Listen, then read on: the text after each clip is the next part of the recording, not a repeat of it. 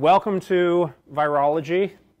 I think this is the most fascinating subject of all, but I'm slightly biased because that's somewhat what my lab works on, and I've been working on these particular organisms, as I will call them. We can argue about that later, for probably almost 25 years now. So uh, if you're interested in more of the stuff that I do, um, the, let's see, my website is here, extremeviruses.org. In fact, one of my students put this together uh, about a year ago now. Um, you can follow me on Twitter if you like. Um, it'll almost everything there will be about um, how wonderful vaccines are, and um, I will probably be telling you that. If you get nothing else out of this class, that vaccines are wonderful, um, then I consider myself a success. So, any questions about that, or if you want to get some ideas about how to talk to pro-disease people, as I call them, um, feel free to come and ask me about that as well. We're actually going to talk about all of the viruses represented by the virions on here. Um, this is the main virus that my lab works on, the SSV virus up here. This is a model of adenovirus. This is a plant virus, CCMV, um, chlorotic mosaic virus. This is bacteriophage T4 with this wonderful background of stars.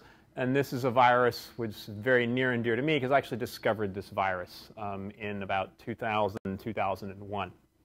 Um, so, but before we move any further, let's talk a little bit more about how to find me, etc. And oh, we're having issues again with our communication, so let's just do this. So fun. Why are we not talking to ourselves? See, technology, isn't it a wonderful thing? Or not, as the case may be. Maybe advancing would be nice. Try this one instead. Still, okay, there we go. Eventually, I get this technology to work. Um, so, where do you find me um, when I'm not being infected by a particular virion? Uh, my office is in SRTC, just about as far away on campus as you can get from here. Uh, my office hours are directly after class. Um, probably the easiest thing to do is to grab me right here, right outside. But if you'd like, we can head over there as well. Um, and by appointment, how do you make appointments with me? Uh, basically, send an email to my PDX email address because I rarely will answer or look at any of the other ones. If you want to talk to my voicemail, go ahead, call it. Um, I will try and get back to you. Uh, those of you who've had my courses before know that I'm recording this, and assuming that the recording has worked, um, that will be posted on YouTube right after class, or at least as soon as I get around to editing it and posting it online. So um, all of those are there. Um, if you post enough on YouTube, you get to have your own channel. So um, actually see Ken Stedman here, and then as I mentioned before, um, Extreme Virus Prof is how you can follow me on Twitter. Um, a couple people asked me about prerequisites for this course. Uh, I am going to assume that you have had molecular biology before you take this course, because as we'll talk about a little bit later, this is really mostly about the molecular biology of viruses, very little about pathogenesis. Um, so if you have not had molecular biology and you're concerned about your preparation for this course, um, please come and see me either yep, right afterwards or later. Cell biology is less critical. Um, we'll mostly be talking about intracellular compartments and a little bit about transport, uh, but much less so than the real basics of molecular biology. So um, cell biology, um, any of you taking cell biology now?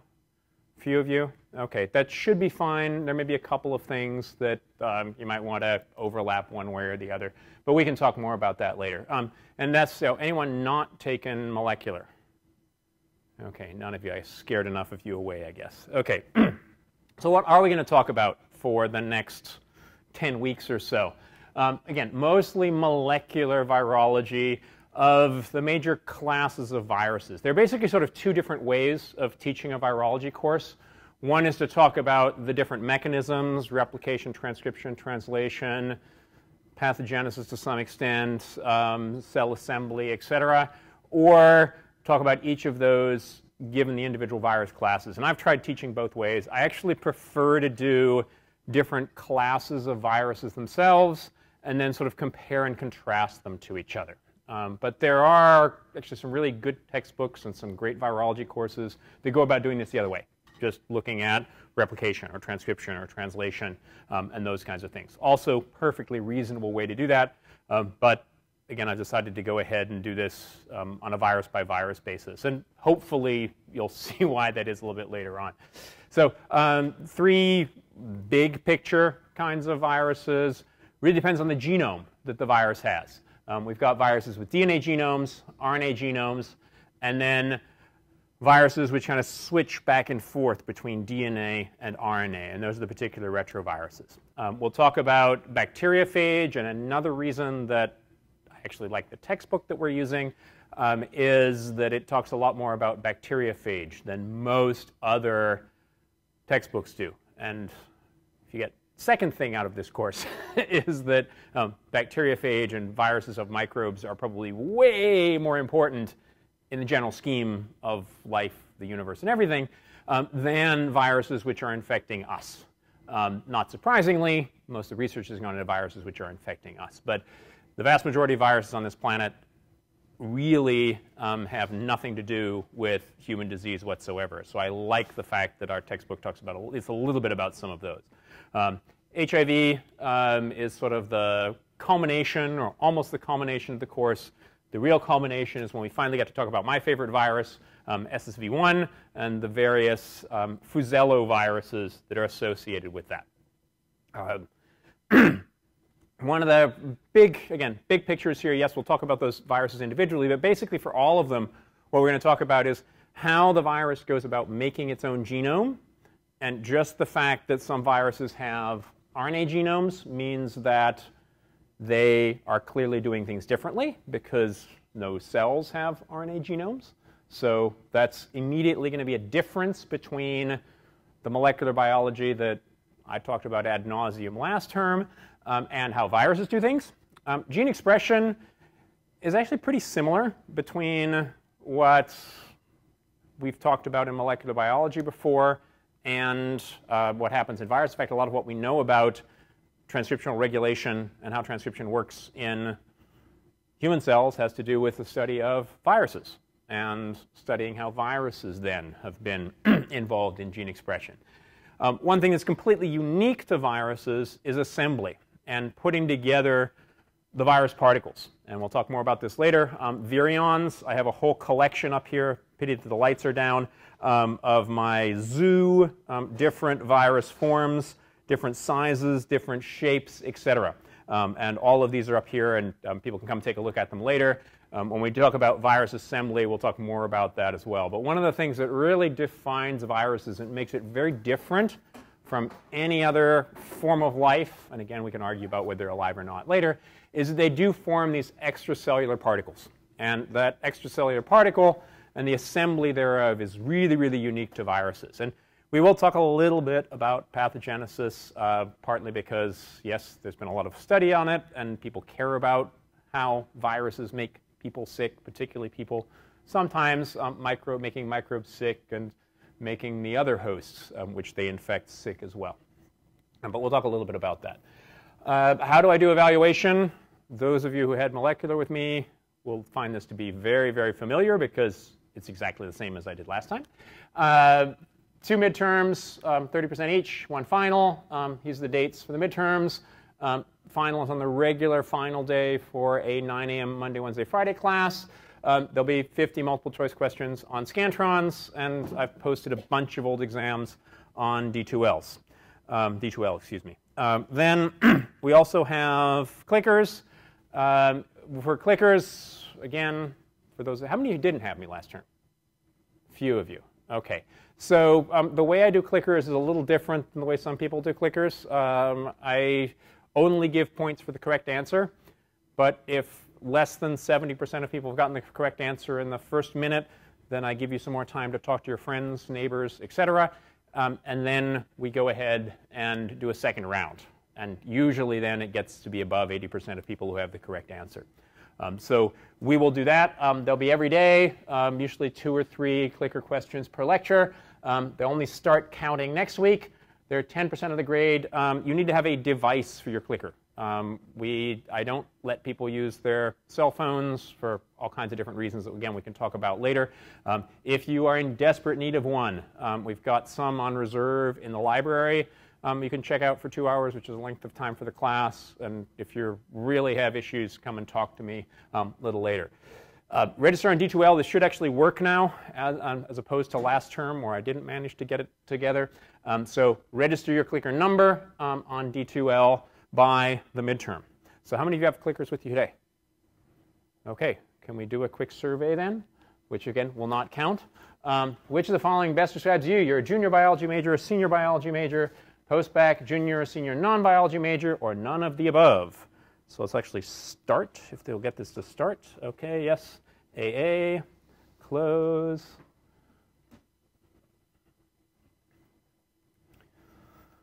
Just so we get, and, and actually I, I have this information already, so I'll see if you actually agree with the information that I have, which may or may not be correct.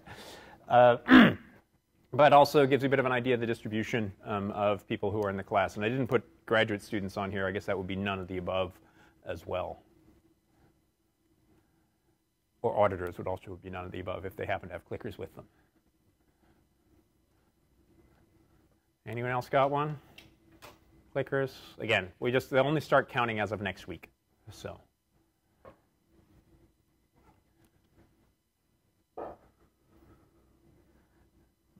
Okay, so let's see what people say.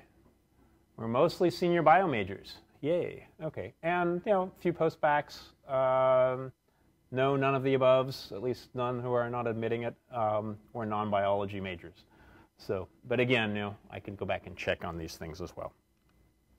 Okay, so people have, um, again, asked me about how I do my grading. This should not be new for, again, anyone who had my course last term. Um, I set the top score to 100% because my exams are not perfect by any stretch of the imagination, and again, ask people who took my class last term about that. Um, so I set the top score to 100%, and then I just scale from there, um, percentage-wise. Um, this gives a pretty straightforward breakdown.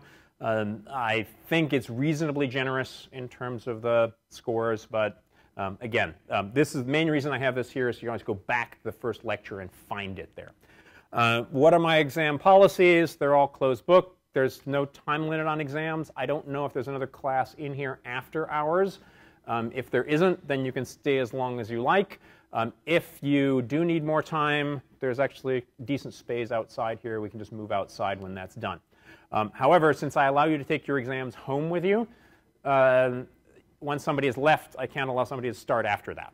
Um, so please get here on time on exam days. If you have accommodations at DRC, um, contact me and remind me, please, before exams um, what you're planning on doing. Whether you're planning on taking it here, testing center, somewhere else. If we need to organize another place to do that, um, let me know. And the sooner we do that, the better. Uh, makeups, life happens. Um, hopefully not on exam days. Uh, but these are just got, really under extreme circumstances because um, you see all of the TA and grading help I have. They're all standing up here with me right now. Uh, so any extra exam is going to have to be completely extra, and I'm going to have to deal with that myself as well. So um, I do those as essay exams um, as makeups, and I need some kind of evidence for that.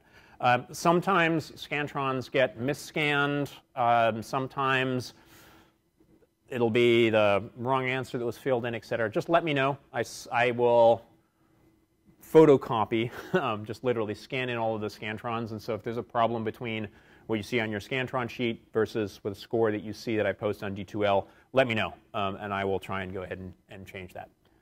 So how do you do well in this class? Um, basically, be prepared. Um, and that's probably true for pretty much all classes. Um, our textbook, which I didn't bring with us, um, Fundamentals of Molecular Biology, Virology, excuse me. Um, it's the second edition. The first edition is okay. Um, it's missing a couple of chapters, and I've tried to scan those extra chapters and post them on D2L. So if you just have the first edition, um, it's okay. Um, one of the things that I like about this textbook is that they have um, really nice chapter overviews and key terms. At the beginning of each chapter, um, basically a paragraph or so on the important aspects of those particular viruses. Um, I don't specifically go and look at those when I put my exam together, but they're really nice reviews. Um, also has um, a nice glossary and references. So if you want to know more, because everyone wants to know more about viruses, um, it's a great place to find a lot of these things. Uh, I, again, post all of my lecture notes on D2L, usually by about 10 o'clock at night the night before lecture. I'm not always that good about it. If there's nothing posted, email me. It's quite possible I have my lecture together already and forgot to post it to D2L. So let me know that beforehand. Um, also, if it's not there or you want to be extra prepared and read ahead or look ahead a little bit, all of my lecture notes from last year are there. They're going to be very similar to this year's with, again, some updates, but they're going to be extremely similar. So those will be there as well. Um, YouTube recordings from last year's lecture, and in fact, I think the last four or five years' lecture are all on YouTube as well. Um, and ask me lots of questions. Uh, those of you, again, who've had me before, um, know that I have a tendency to speak quite quickly and go over stuff rapidly. Best way to get me to slow down is to ask me a question. So um, please do that. What's on D2L? I think I've mentioned this a whole bunch. Uh, lecture notes is a syllabus, which we'll try and keep to. Not always going to be the best. Um, old exams, no better way to study for my exams than go and look at old exams. I try and put together new exams every year. Um, some of the questions end up being really similar, even though I haven't gone back and looked at them.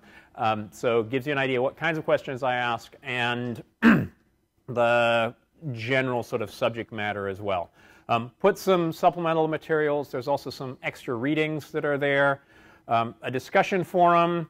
I don't use it very much, except there's a section on questions and answers. And so if it's a question that comes up during your reading in class and you didn't want to ask it, um, please send me an email about it. Or you're going back and re-listening to the lectures on YouTube and you're like, huh, what did he say? Um, quite possible I misspoke. Um, so please just send me an email about that and I will post the answer to D2L so everybody can take a look at those. Um, I do look at the email on D2L, but nowhere near as frequently as my PDX email. So just send me PDX email. Uh, there are, as I mentioned, other ways to teach virology. One of those is, again, this sort of general mechanisms, replication, assembly, etc. Um, Flint, Principles of Virology, they're actually in the fourth edition right now, is a great reference as far as that's concerned. It's also two volumes and I think about 300 bucks. Um, so I decided not to use that particular textbook for this course. Um, the second edition I'll have on reserve in the library. Um, it's a really good reference text for animal viruses, but doesn't get into some of these other viruses infecting microbes anywhere near as much. And so it's another reason that I decided not to use that. Um, Fields Virology, this is basically the, the holy book of virology. I think it's running four volumes now. They're about this thick. Um, basically, everything you ever wanted to know, and most people do know about viruses once it gets into print um, is in Fields Virology. Um, I have a couple of copies in my office, so if there's a particular version, that, virus that you're really, really interested in, let me know and I can loan that to you. Um, it's a fast-moving field. Journal Virology, Virology Science and Nature um, often are publishing really fun stuff, some of which I will try and incorporate into the lecture as we move on. Um, I have my own private virus library um, in my office. Um, that you know, big building with the books in it over on the other side of campus um, that also has a pretty decent virology selection, particularly for some of the bacteriophages, so the bacterial viruses, if I haven't checked all of them out already and they've ended up in my library. Um, and then, uh, again, office hours, after class, and, and by arrangement.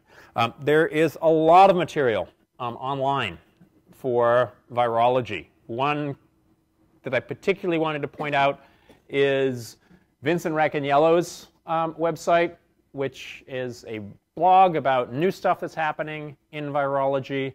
Um, also, his is the inspiration for me recording all of my lectures. He records all of his lectures for his course and puts them all online. Um, also has a Coursera course on virology. That, again, this is the other model course. This is covering replication as one unit, all the different viruses. The transcription unit, all the different viruses, et cetera. So I think it kind of complements what we do. Um, and today, on my way, in fact, over from my office to here, um, I was listening to the podcast This Week in Virology, also known as TWIV, which is also by Vincent Racaniello, um, where I think it's five or six now. I think they just expanded their group. Uh, virologists get together and discuss recent virology literature. Um, a lot of fun today. They were, well, today, the one I was listening to today, which I think was two weeks ago, um, was talking about papers where they were looking at the evolution of myxoma virus, which is a pox virus that people tried to use to kill off all of the rabbits in Australia and did a really good job except for a few rabbits, which then evolved to deal with the virus. And now the virus is evolving as well, so really fascinating kind of structure. And they now with genomics, they've been able to study the genomics of the rabbits and see how the rabbits have now evolved to be resistant to these various different viruses. Fascinating story. Um, so um, great place to go and sort of you know, geek out about interesting viruses. Um, one thing, and again, the lights are down here. Many virus um, extracellular structures have icosahedral symmetry to them, um, which is a fascinating geometry. Uh, but there's a really nice server um, through the Scripps Research Institute where you can actually make your own of these things, print out um, various versions, and I have one of the paper ones up here. Um, I find that's by far and away the best way to think about how these virus structures are put together. Um, if you have your own 3D printer, that's great, um, but also just the paper models that you can put together through this um, ViperDB um, structure. Um, we'll get to edgeoflifethemovie.com a little bit later on. Um, Viral Zone, this is, again, a really nice complement to our textbook. Each of the different virus families on Viral Zone has an overview of that particular virus family's replication, transcription, assembly, etc. So nice comparisons between what we're talking about here. You can also go there and find a lot of that information. And then, particularly in terms of bacteriophage, um, there was a birthday party for bacteriophage a couple of years ago now. Um, bacteriophage were originally described in 1915. And so in 2015, they had a big phage birthday party in San Diego um, with a number of talks, um, including by yours truly, where people have discussed sort of the latest results in bacteriophage. And that's you know, missing from even our textbook in terms of some of the latest stuff which is there. Um, I don't want to skip uh, everybody being happy and safe. Unfortunately, this class last year when we were teaching in this room, about halfway through the term, somebody drove their truck onto um, the sidewalk just down the road. So um, life does happen. If you have any kinds of issues, um, A, talk to me. These are the places you can find help on campus, Office of Public Safety, um, Dean of Student Life, um, DRC, and any kind of, of mental health crises. So um, this is important stuff. Um, anything comes up, please let me know um, ASAP. But if I'm not around, um, there are other resources that are available to you. More exciting, you're not going to have to listen to me for every single lecture this term. Um, a couple of guest lectures, um, in fact, starting already on Friday. Um, postdoc in my lab, Nacho, as we call him, Dr. Nacho, um, who is a real expert on virus structure and virus evolution. We're talking about virus structure. I'll actually be giving a pitch for my company um, over in Stott Center on Friday. then Alec Hirsch, who's at OHSU VGTI, will be talking about flaviviruses things like dengue, Zika virus, yellow fever virus, etc. Um, he's one of the world experts on those. Um, if I can get Ryan Estep to come and talk, um, he's now working on herpes viruses, also at OHSU. Um, he's actually a PSU grad um, who's gone on to do really cool stuff with herpes viruses. And then um, George Kaysen, who's a PhD student in my lab, he's been working on single-stranded DNA viruses, particularly the what we call the cruciviruses. Um, also, that's what Nacho is working on as well. Um, another thing that I do in this class that people are not that wild about, but um, see, one person here knows a little bit about um, why I do this. Heard about random roll call. You guys know what random roll call is? So when I ask a rhetorical question, instead of waiting for people to put up their hands, I have a list of all of you. And I just go down that list and pick one out and um, ask you to answer the question. Um, you may pass, but if you pass, I will come back to you. Um, or you can also um, do something that uh, one of my other students recommends. It's called the grenade approach. So um, I ask you a question, but you're not real happy about it. You can then ask your neighbors. But you only get two of those a term. Okay, I will start doing those next week as well. Um, again, we'll talk about some really cool stuff from my totally biased point of view, because they're viruses that we work on in my lab.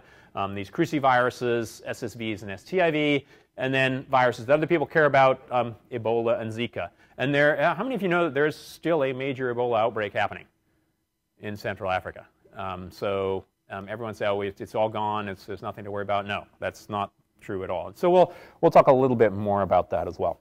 So are there any questions about how the class is going to run? Or not, as the case may be. Okay, we're all happy. How many of you went to D2L already? Good, found all the stuff?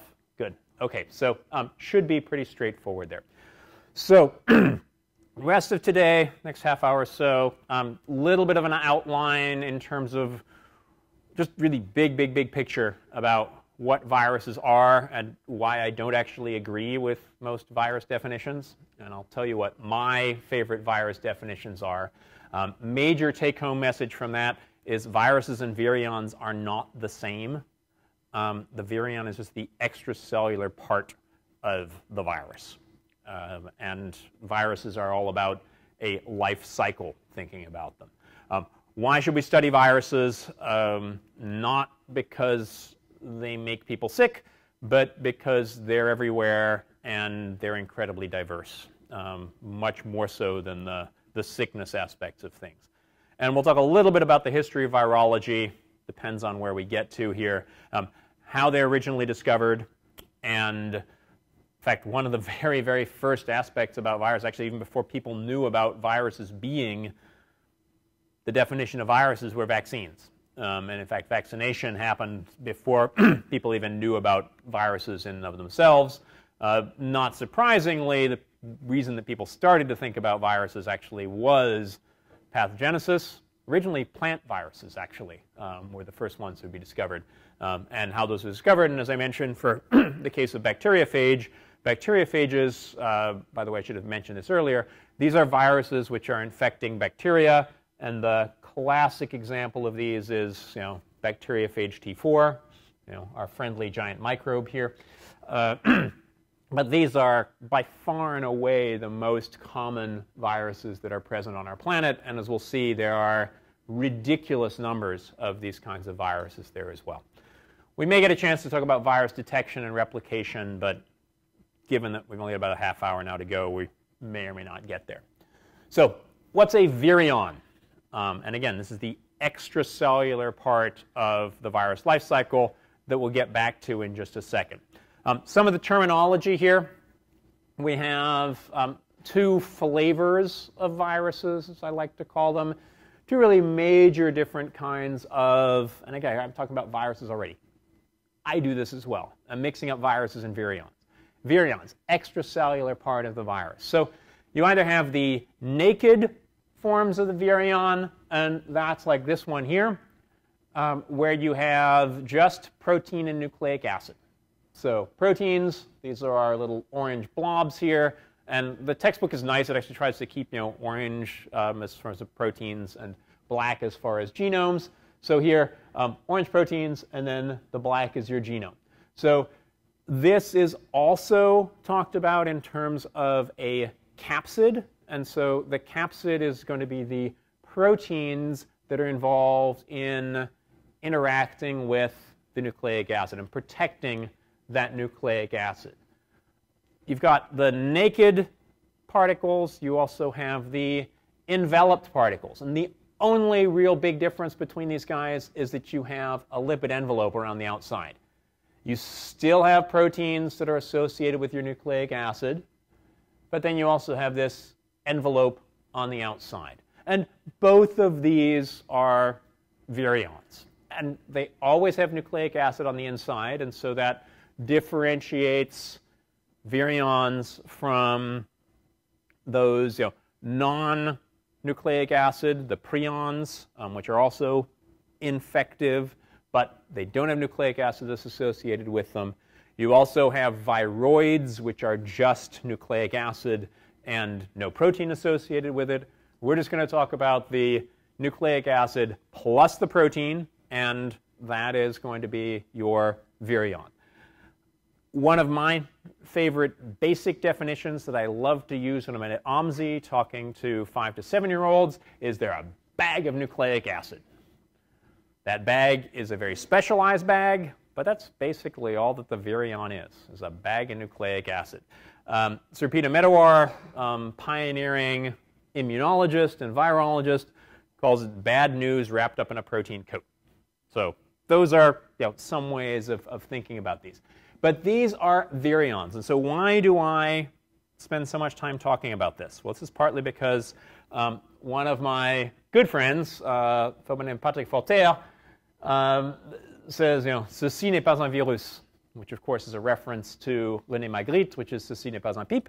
Um, but the take-home message here is that this is not a virus in and of itself. It's just the extracellular part.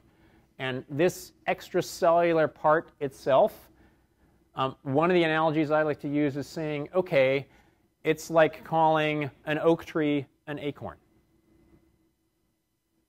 Now, yes, okay, you've got acorns, but there's a whole other process that gets to the rest of the oak tree. And so what's, what's the oak tree? Is the acorn the oak tree, or is the oak tree a part of the acorn? And so this is, this is only part of that, that whole process. So let's talk about standard definitions. Standard definitions of viruses are a very small, and everyone who was in molecular last term knows that as soon as I put anything in quotes, it means I don't get it. I don't take it as being true, so we'll see the giant viruses later on in the class. Uh, infectious obligate intracellular parasite. Um, infectious obligate intracellular, that's pretty good. I like, I like those three words. Infectious obligate intracellular. But parasite, as we'll see also later on in the course, that's not always really true.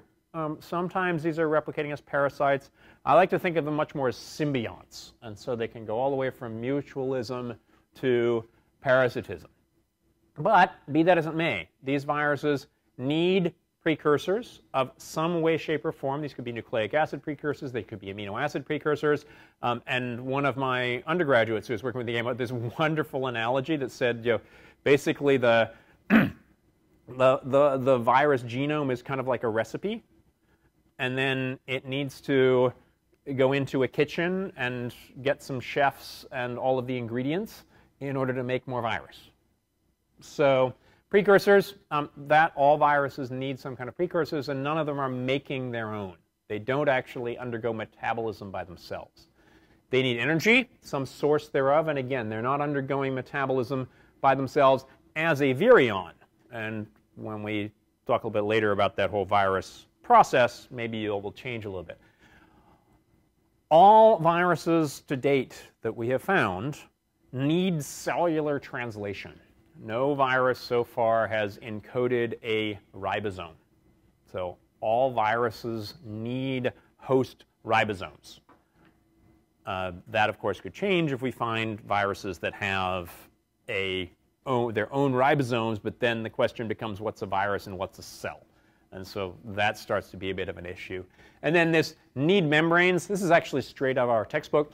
Um, needing the membranes if you are a enveloped virion or virus that enveloped virion, then that envelope is almost always picked up from cellular membranes. Um, they don't make their own membranes, although as we'll see later, some of these actually do, excuse me, modify some of those membranes. The virion itself, um, this is part of the replication process. Once you have an infection, so um, virion comes in, interacts with a host cell, the genome comes out. This virion is never reused. And so it's not like when you have cellular replication, where you have half of your cell divides and half of it goes one way and half of it goes the other way. Um, each time you divide, you're going to be using a little bit of that own original material. That's not true for the, the way that viruses are going to replicate. They have their extracellular form, and then that usually actually degrades or is discarded, and a whole new set of extracellular forms and genomes are made before you have another round of virion production. So they're not replicating through binary fission. And you know, viruses have a DNA or an RNA genome. We're not going to talk about these viruses this term, but there actually are some virions which package both DNA and RNA in their virions. And um, as George will talk about later on in the term, we have some examples of viruses that probably arose through recombination between DNA and RNA viruses themselves. So there may be some, you know, this or RNA genomes. Most of them would have a DNA or an RNA genome. Now, the, vi the virus definition that I actually like the best is not the one from our textbook or most of the other textbooks. This is actually from Salvador Alluria's textbook from 1953. I think it was 53, um, which is as follows. Viruses are entities whose genomes are elements of nucleic acid that replicate inside living cells using the cellular synthetic machinery and causing the synthesis of specialized elements that can transfer the viral genome to other cells. So this is 78, but his original one I think was in 53. Um, so nucleic acid genomes replicating inside living cells using the cellular machinery. And as we'll see, the sort of the bigger the virus you get, the less and less of the cellular machinery it's using, but they're always making these virions on the outsides of the cells. So another way of thinking about this is this is really your virus. Viruses have these virions. Let's see. Up at the very top here, um, the virion is produced in D. That virion will go over to position A and insert its genome inside a cell. Once that nucleic acid part of the genome gets inside the cell, it will replicate, make more of its genome, make more virions. Those virions escape, and this whole process, I would say, this is the virus life cycle. And so you can't talk about the virion as being the virus. It's only part of that whole cycle. And so one of the things uh, about this, and my friend Patrick Forterre also talked about this as well, is you really have two kinds of organisms as far as he, he's concerned. There are the ribosome encoding organisms, and all the ribosome encoding organisms are going to be those which are having the ribosomes that I mentioned before. No viruses have their own ribosomes, so all of the ribosome encoding organisms are going to be cellular organisms. And then you have capsids, which are very specific for the viruses. Um, and he calls these capsid encoding organisms. And you can use these abbreviations. You have REOs, so the ribosome encoding organisms, and the CEOs, the capsid encoding organisms. And some people might say that CEOs like to replicate like viruses do, but that's a different story for a different section. So Why do I study viruses? Um, not for the reason that most people study viruses. Um, viruses are absolutely everywhere, and I'll talk about why uh, we know that um, a little bit later on. Most people don't know this. Uh, viruses infect absolutely every cell that we found. In fact, I was just reading a really interesting paper about mitoviruses. Mitoviruses infect mitochondria. It's like, wait a minute, you've got viruses infecting mitochondria inside other cells? But yes, there are, there are mitoviruses. There are viruses which infect mitochondria. So they really do um, infect everything. Viruses are incredibly diverse, um, both in terms of their virions, but also in terms of their genomes. Um, a lot of what we call bacteria, oh sorry, um, genomic dark matter, so things that have no similarity to other sequences whatsoever, turn out to be um, present in viruses.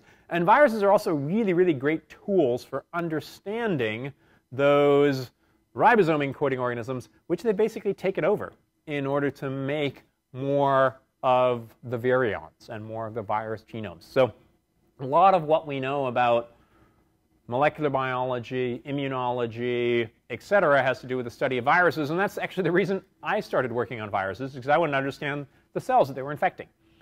Um, and turns out the viruses are so fascinating, I've ended up spending much more time working on those.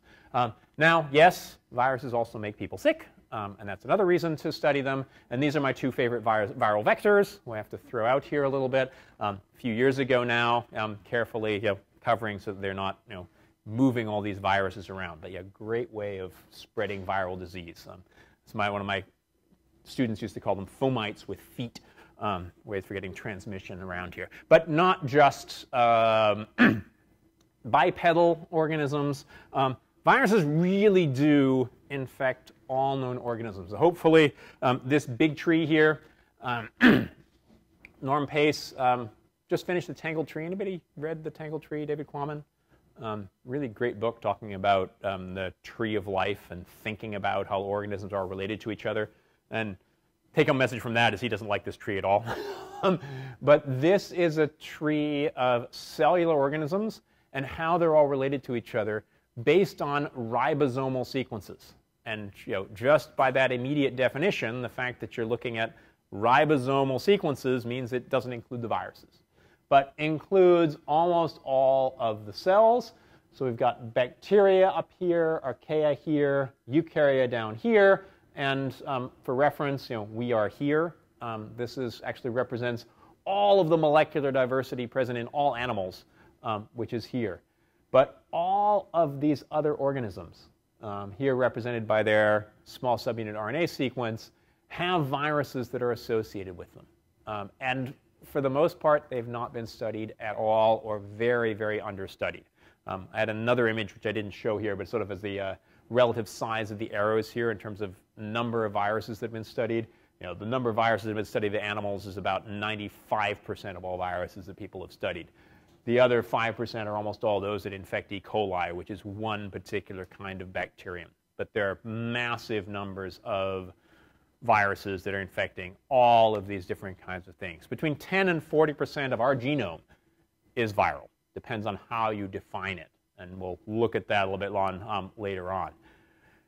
Viruses, and particularly some of the virion types, seem to be incredibly old. And so how do we know that? partly from this virus, STIV, that I discovered.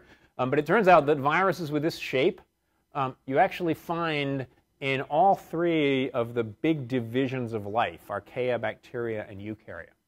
Um, and if you think about this from an evolutionary point of view, you could sort of guess, and again, in terms of a time machine, we're not going to know this, that some virus types, I think a lot like this one, um, are probably extremely old. And in fact, when we had a common ancestor of all cellular life, which may or may not have been um, where you had differentiation between archaea, bacteria, and eukarya, um, probably had viruses that were infecting these organisms, maybe even pre-cellular organisms had viruses that are associated with them. So viruses have been around for a really, really, really long time.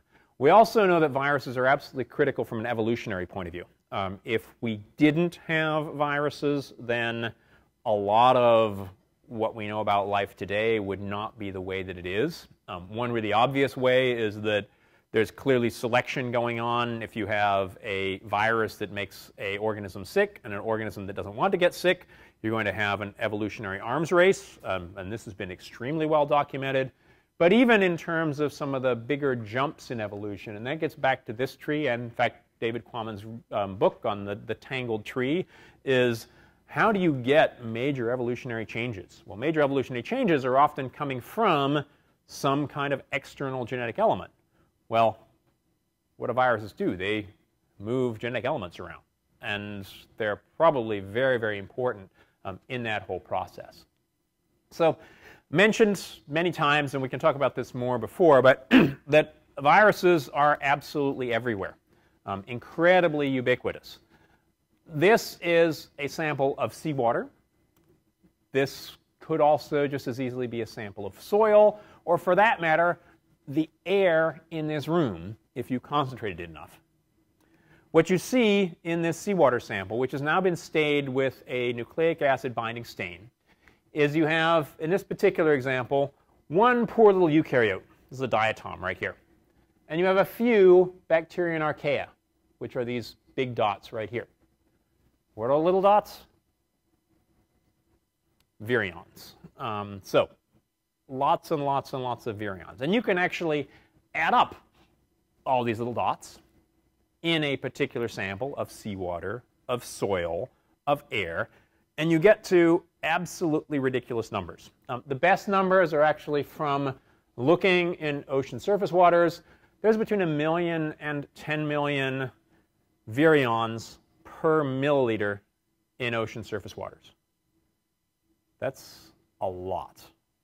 That's a very, very, very large number. And if you think about the number of milliliters in an ocean and multiply it, there's a lot of you know, questions about you know, whether every milliliter in the ocean actually has that number of viruses, but actually it's been pretty good, even when people have been looking at deep sea um, samples here.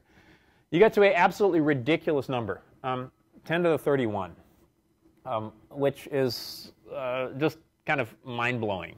Um, if you lined up all of these virus particles end to end, it would be about 100 million light years, which is just crazy. And when some people think about this, there's more, there are more virions in a cup of seawater than there are humans on the planet. Um, just absolutely crazy. And one way that you can sort of see this is um, this is actually this my thumb up there at the top, and this is a tube where we actually prepared some virions in it. Guesses? Any guesses on how many there are in there? Somebody who hasn't downloaded the notes yet. Guesses? Anybody want to guess? Not don't my random. I don't my roll call list, so I can't. I can't ask you to all guess.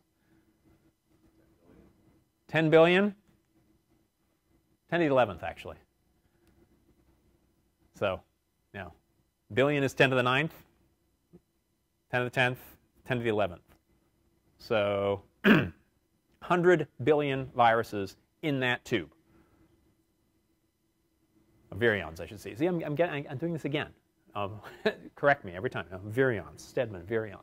So you know, that, they're, they're very, very small. Of course, you can't see them, but we know that there are that many. And I'll show you eh, probably on Wednesday um, how I actually know. And in fact, I, I got this number here. So in this case, it's um, 10 to the 10 PFUs per mil, plaque forming units per mil, and they're about 10 milliliters that are in there. And we'll talk about plaque forming units a little bit later on.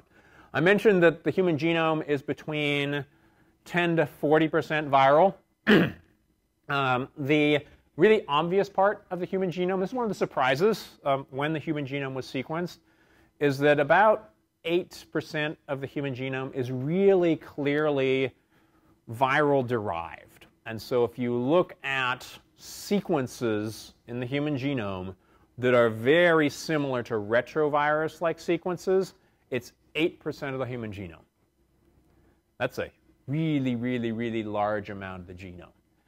Um, some people argue, and a lot of us virologists argue about this a lot as well, is whether the large repeated elements that are present in the genome, the long interspersed nuclear elements and the short interspersed nuclear elements, are derived from, excuse me, these retroviruses some people say retroviruses are derived from these retroelements, but they're still really similar to each other. And yeah, it's about 40% of the genome if you add the clearly retroviral-like and these lines and signs relative to the 1.5% of the genome which is encoding unique protein sequences. So we're actually more viral than we are human, at least in terms of our genomes, which is also a little surprising, uh, but I think really fascinating in terms of, of thinking about, and this is just the human genome, let alone all of the other genomes that people have looked at. And it turns out that most eukaryotic genomes are actually, the larger ones anyway, are pretty similar to this. They've got lots and lots of viral elements in them, and lots and lots of transposons that are present in the genomes, and relatively small amounts of protein coding, unique protein coding sequences present in their genomes. But even if you just look in viral genomes, you have huge amounts of diversity. And this is a, just a couple of papers um, that people have published in the last few years. Um, if you just look at a viral genome, and uh, we're in this, the age of genomics now. Um, and in fact, the very first complete genome sequence to be sequenced was a viral genome. We'll talk about that viral genome later on really small genome. Um, but one of the things that lots of people have done in the last few years, there's been a huge amount of work, something called the C-phages program a professor by the name of Graham Hatfull out of the University of Pittsburgh has done a fabulous job of getting high school students, undergraduate students, we actually thought about starting this program here, um, sequencing their own new mycobacteriophage, and so it's a mycobacterium virus. Um, turns out that you can just go and look at any soil sample. You'll find new viruses in them. You can sequence those viruses, and it turns out about 50% of the sequences in any of those virus genomes don't match anything in databases. It's gotten a little better now because a lot more of these sequences have been done. It's now about 30% of the sequences that you find in these genomes don't match anything in any other genome that anybody's seen before. If you look at some of those little dots that we had on that uh, nucleic acid stain of seawater and sequence all of those, 90% of those sequences don't match sequences that are in other databases. Um, this has changed a little bit in the last 13 years, but it's still about 80% of these sequences that don't really obviously match anything. Um, if you look at some of the extremophile viruses, like the ones that we work on, um, like this guy and some of the other ones that we'll talk about right at the end of the term, 95% um, of the genes in these genomes don't match anything else. Maybe they match the other genomes of these other extremophile viruses. We have no idea what most of these things are doing. So people have done, again, some back-of-the-envelope calculations, um, saying that there are billions of unique genes, maybe only millions of unique genes um, in some of the newer estimates, but still very, very, very undersampled in terms of all the genetic material which is present. One of my buddies, Matt Sullivan, um, published a paper two years ago, rather controversial one, where he says that actually, well, maybe some of these numbers are a little bit too high, and he thinks there's only 15,000 of them. But be that as it may, even if there are only 15,000 sequences of these surface viruses, they're still incredibly diverse. And one of the experiments that we did a couple of years ago is we went to a place called Boiling Springs Lake in the Lassen Volcanic National Park. You'll hear more about this when George Kaysen gives his guest lecture. Um, this is what I like to call the largest hot spring in the world that nobody has ever heard of, or very few people. Right off the Pacific Crest Trail. It's a lake, probably about 10 times as big as this room. The low temperature is 50 degrees Celsius year round. Um, the high temperature is about 96 degrees, and it's a pH of 2. None of my students wanted to go out there and collect samples for me. They didn't go to want to go for a swim. Go figure. It's only 50 degrees. You only die of, you know, third degree burns after about five minutes in it why not? Yeah, do you want to get your degree or not? Come on. Um, so that being said, one of the things that we did is we collected all of the nucleic acid from those little dots. So lots of little dots are present in there.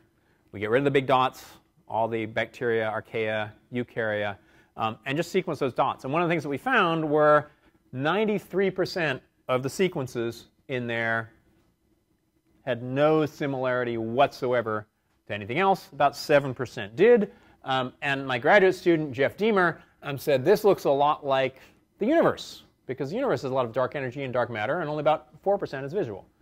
So we to call this the, the dark matter of sequence space, are all of these viral sequences um, that we really don't know what most of them are doing. So I like to think of this as a huge opportunity um, to try and learn about what a lot of these things are doing.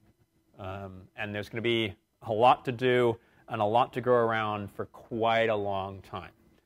So viruses are incredibly abundant, incredibly diverse in terms of their sequences, but they also have these really unique shapes. So here are just a couple of those unique shapes. Um, this one is dengue virus, a flavivirus.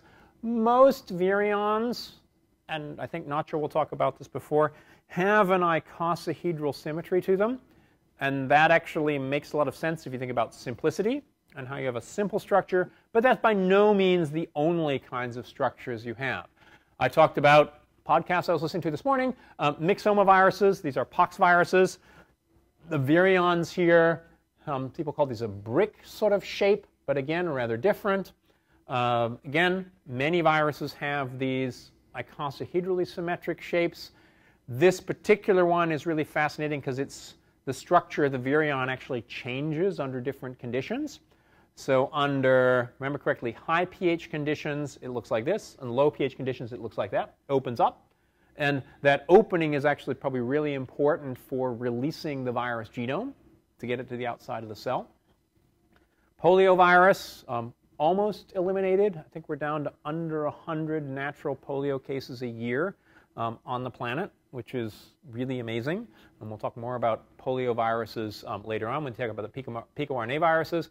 Tobacco mosaic virus, the very first virus ever to be isolated, has these long rods.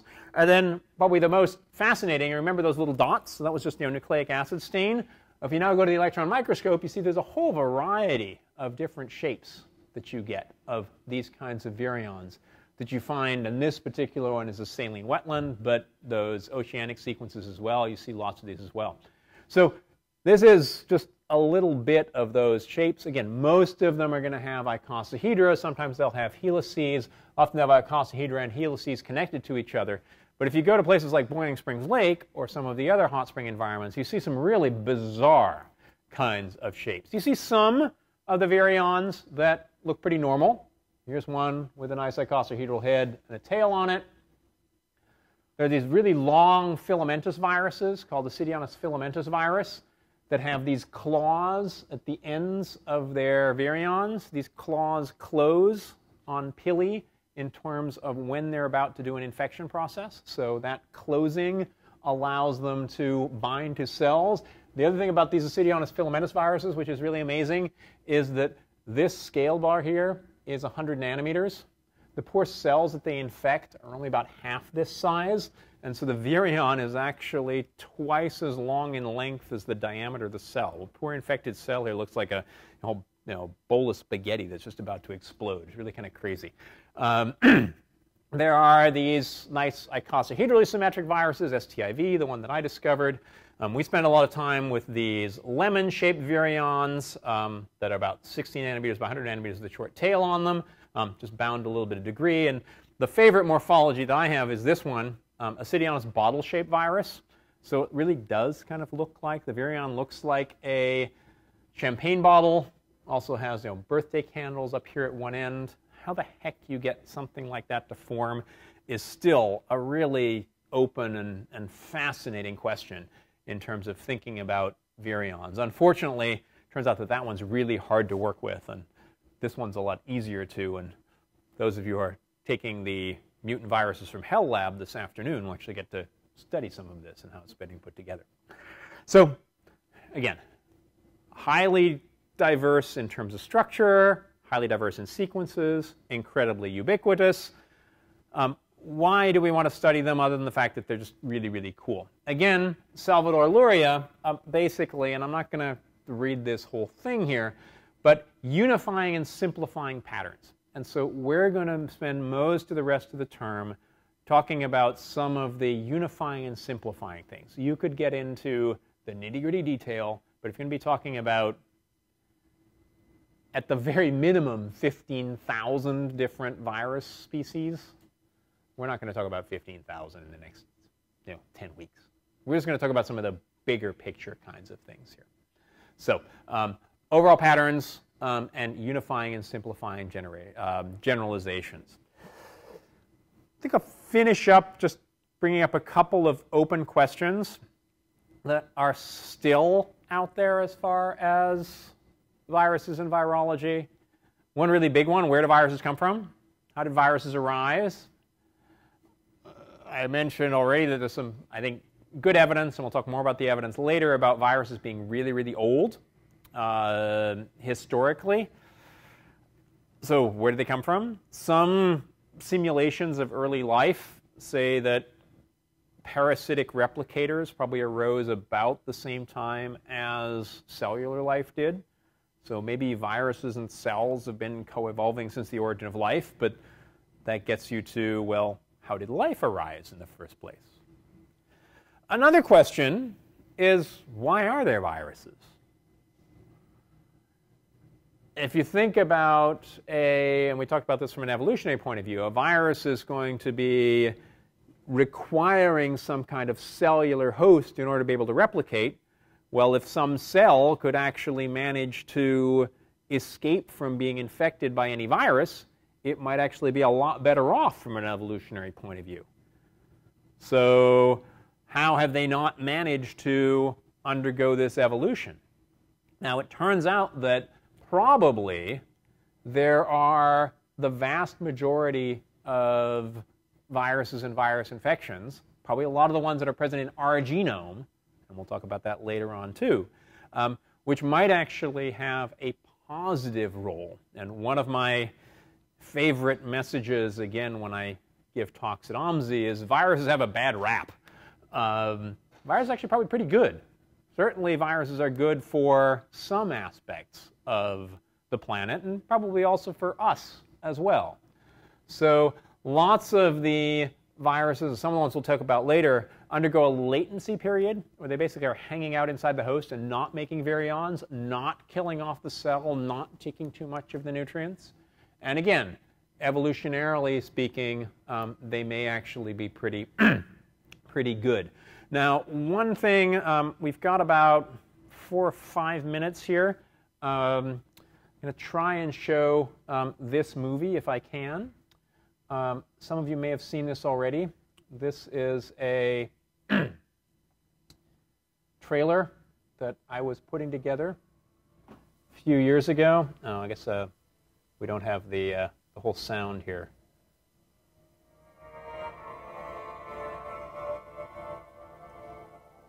That, of course, should be virion, not virus.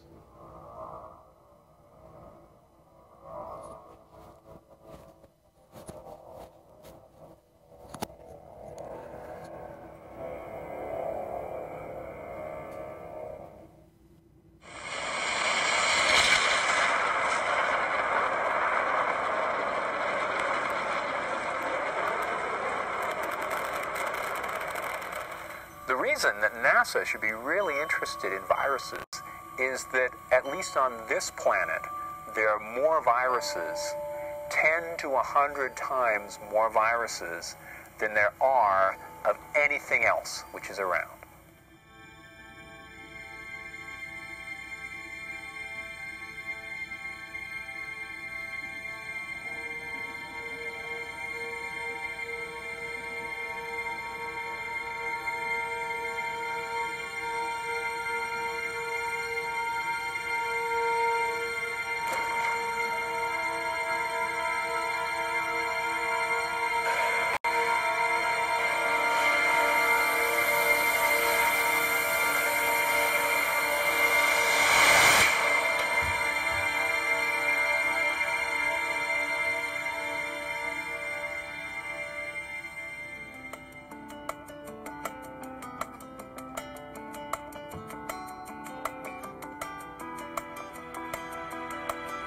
This is that lake I was telling you about.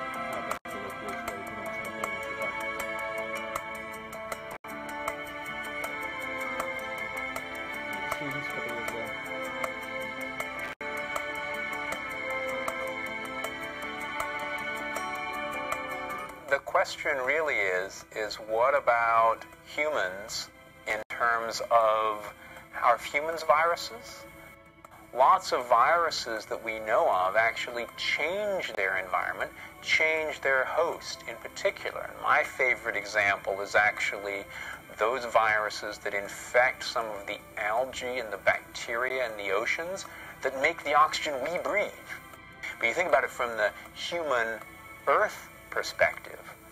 Humans have clearly changed what's going on on Earth and changed it in such a way that it may actually be beneficial for the earth and certainly beneficial for humans. And so you can think about all kinds of things that have happened on our planet which may actually be positive from an earth point of view.